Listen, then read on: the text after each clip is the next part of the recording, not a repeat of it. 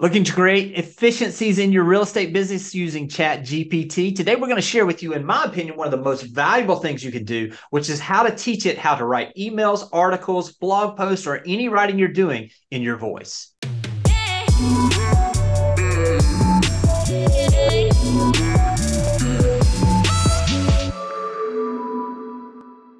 Well, welcome to another episode of Real Estate AI Flash the podcast dedicated to you, the real estate agent, and to help you use AI to power your business.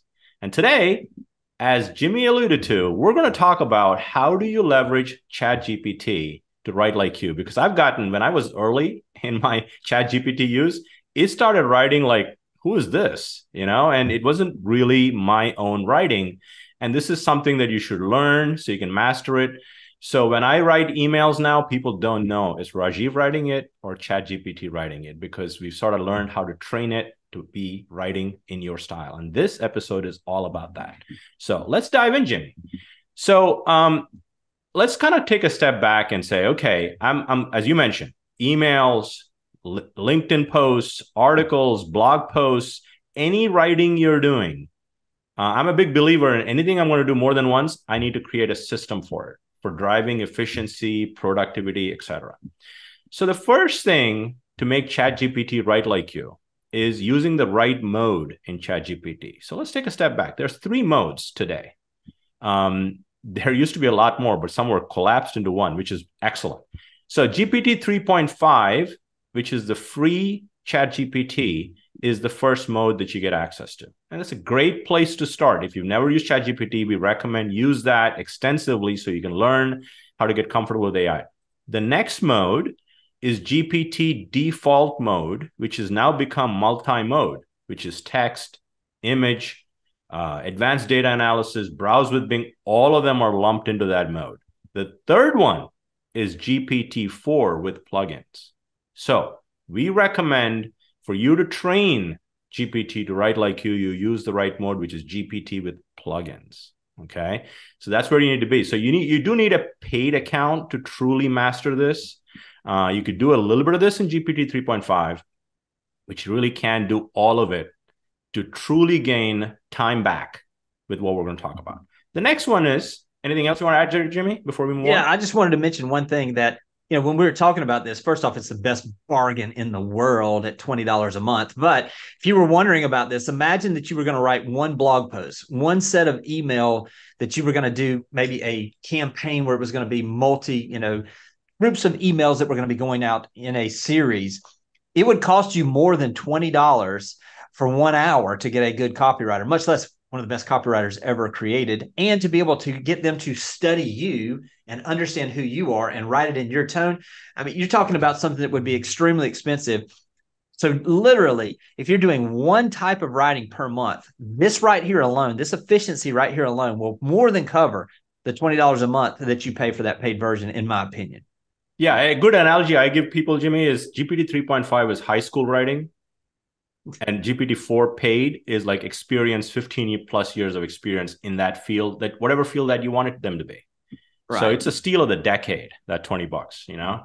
So the second tip we'll give you is you got to teach GPT, chat GPT, the, give it, feed it articles you've written. So as an example, the reason we ask you to go with plugins, we always believe that using plugins gives you the most expanded view into ChatGPT and gives it a window into your workflow. What do I mean by that? So let's say you've written articles on a website. You can give it links if you have a browser enabled plugin like a BrowserOp or a VoxScript. It will read specific articles that are published on the web so you don't have to copy and paste them. So give it articles you've written the more you give it, the more it can learn your writing style. But give it enough. I'd say five to seven articles. You feed it, then I think it'll start to develop a liking to your style in terms of understanding your style so it can generate things that you'd want in your voice. Now, the other important part around articles you've written is feed it consistent style. What do I mean by that? You can feed it like sometimes I'm I get into this email writing, Jimmy, that has bullets I write stuff in bullets. But sometimes I feel like I need to write in conversation style. You you can mix the two because you don't want to confuse chat gpt what is your writing style? Is it conversational? Is it bullet form? So you want to pick the writing style you're most comfortable with things that really talk about how you write and feed it that particular consistent style. Very important. Uh, otherwise the output is not going to be what you expect make sense so the, yeah, absolutely. Can can I add one thing in case there's somebody that is catching up with us and maybe mm-hmm. missed it on an earlier episode? When we're talking about the plugins, let's talk about that just briefly about the difference of some of these plugins and what we could be looking for and how they're utilized. And the example that you've given me, which was so beneficial, was is to think of your telephone, your iPhone, and the iPhone can make phone calls but it's the apps that you place on there. And that's kind of what the plugins are. Do you want to expand on that just a little bit to give someone that may not be familiar with what a plugin is? No, I'm glad you remember that, Jimmy. That a great analogy is an iPhone analogy. Like, you know, the latest one is an iPhone 15 Pro. And if you buy that iPhone, by default, you get some basic apps that make you do some basic things email, phone, browse the web.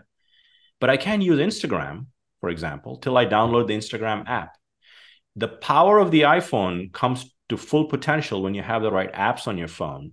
Same way, GPT-4 is an iPhone 15 Pro, but if you don't have the right plugins enabled, you don't really get the full power. So think of plugins as apps on your phone, and you can enable them today. You can enable three at a time. So we call it plugin packs, and we'll do a future episode purely on plugins because there's episodes that are definitely on plugins.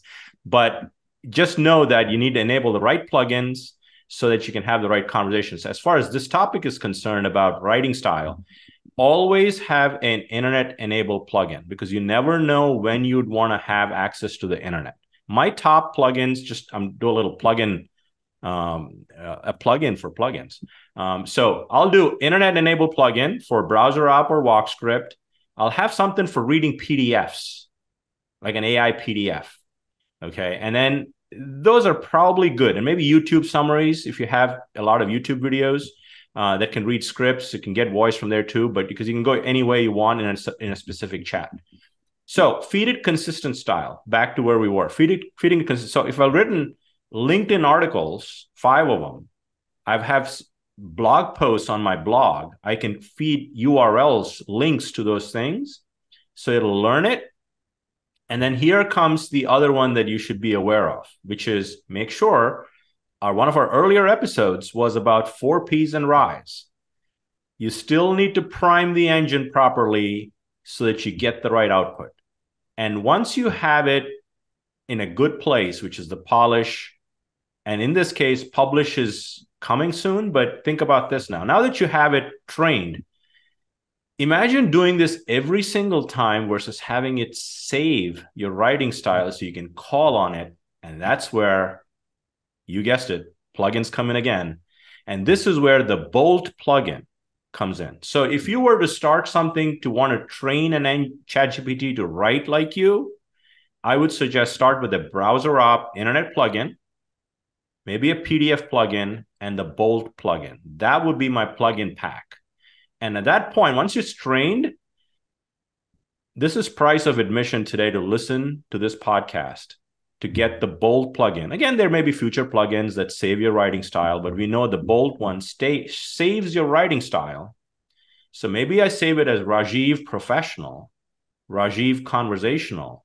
And once I save it, I can call use the Bolt plugin to call on that writing writing style to write any future article for me.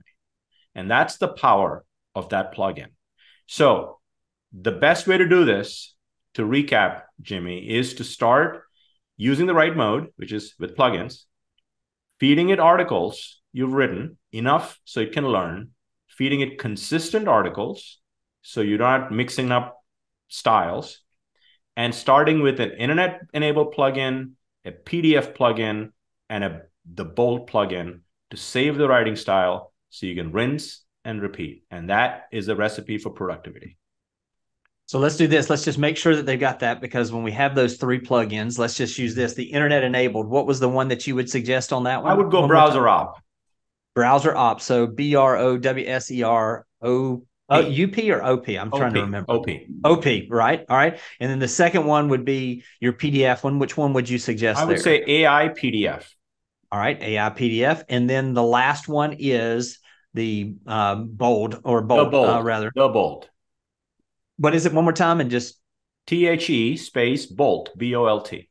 Okay, perfect. All right, great. So once we have those three in place, we utilize this. We save then whichever tone it is. So, for instance, if I'm writing LinkedIn articles, this would be Jimmy's LinkedIn articles. Or if I'm writing emails, it would be Jimmy's email style or whatever it is. And once we've done that, now we've got it where we just go in with that plugin and utilize that in there. So we're prompting, for instance, when we're going back in, let's say we're going back to that language to rewrite another one later.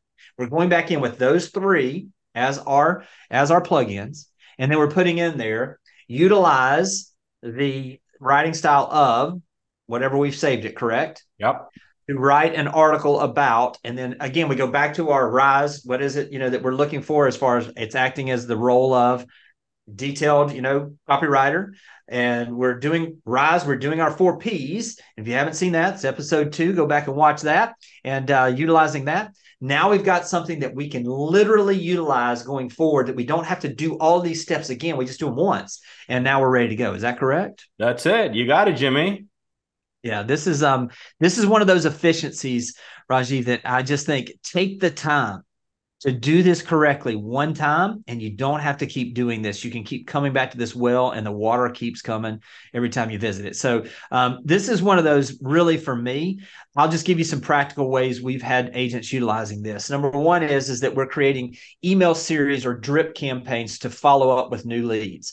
We're utilizing this for our email database where we're basically utilizing it for our monthly newsletter and we're writing articles for the newsletter based on this. We're writing community letters or information. We're utilizing it for writing market updates in our in our tone and our voice. Uh, we're using this for LinkedIn articles on specific topics in our marketplace. So these are a number of different ways, and this and we're just scratching the surface. If you want to write an article for a local um, publication or a local website that is someone that attracts people into your area, this is something you can utilize to really start priming this. Again you want to pol- you want to make sure you're polishing everything but this gives you the ability really that once you set this up uh, you're off to the races. Literally it's just a matter of how much how creative can you think about how to utilize this in a way to get more and more content out there. You want to do, say anything additional rajiv as we wrap this one up? Yeah so i had an agent reach out to me jimmy the other day and said hey i want to be the neighborhood expert right? Mm-hmm. so which which is a great strategy obviously and I and she was into ChatGPT. She was using AI. How do I leverage this? I said I exactly taught her this exact same thing that we were talking on this episode. I said you treat create a writing style, save it using the Bolt um, plugin, and anytime a new restaurant opens, something's happening. Use that style, introduce that to your hyper local market, and it's your voice, and you didn't have to take more than a few seconds to do it and use rinse and repeat. And there's so many applications to this, right? Once they know the writing style, like you're like you mentioned, email, LinkedIn, professional, engaging, conversational, whatever it is, save it, rinse, and repeat it. Guys, if you're looking for more addition, additional ways to create efficiencies in your business and leverage artificial intelligence and chat GPT to grow your real estate business, make sure you have subscribed to this podcast. Rajiv and I are going to continue to try to do everything we can to keep you at the tip of the spear with the best information possible to grow your business and serve your clients better. Take care, and we'll talk to you guys soon. Take care. Thanks for watching the video. I specifically chose the video below for you because it builds on the one you just watched. I hope it's helpful, and I'll talk to you soon.